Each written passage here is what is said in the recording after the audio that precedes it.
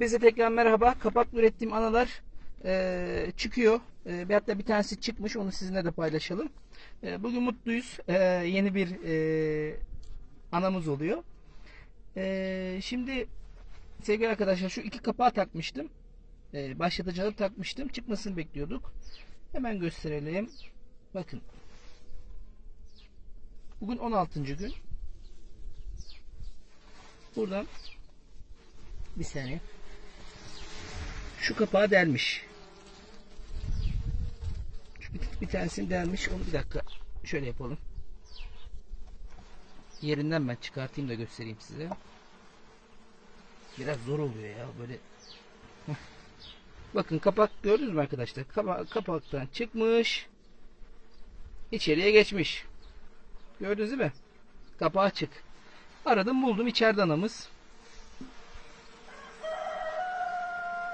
Şöyle alalım. Çok güzel bir anamız çıkmış. Sülün gibiydi. Az önce bulmuştum. Bir daha bakayım da. Neredeydisin kızım? Neredesin? Bir saniye arkadaşlar. Hah bakın anamız burada bakın. Gördünüz mü anayı? Daha bu ana çiftleşmemiş. Daha yeni çıkmış. Bugün çıkmış bir ana arkadaşlar. Maşallah. Bildiğiniz bizim ekotipimiz, yerlerimiz şu anda dolaşıyor. Diğeri de şöyle göstereyim. Bir saniye arkadaşlar. Burada başka bir Allah. Başka bir güzel manzaramız var. Onu da sizlerle paylaşalım. Burada da ana bakın neredeydi? Ne, ne, heh. Anayı içeride besliyorlar. Bakın çıkarmaya da çalışıyorlar. Gördünüz mü? Ana içeride canlı. Kızım çık. Heh.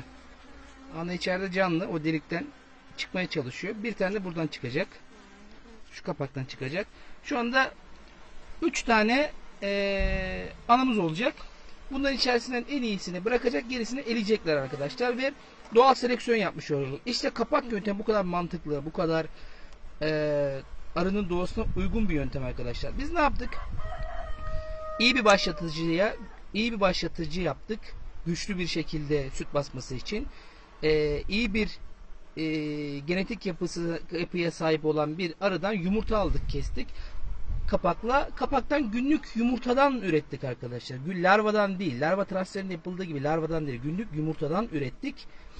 Ve 10-15 tane 20 tane yumurtanın içerisinden arı kendisi seçti. Hem yumurtayı seçtirdik hem de şimdi ana arıyı seçtiriyoruz ona. Haliyle dünyanın en iyi analarını elde etmiş oluyoruz arkadaşlar. Böyle bir sistem yok. Bunu Allah'ın izniyle biz çıkardık ve size hediye ettik. E, durum böyle mutluyuz. Analarımız çıkmaya başladı. E, sonra çiftleşecek gelecek Allah'ın izniyle yumurtlayacak. Görüşürüz arkadaşlar. Kendinize iyi bakın.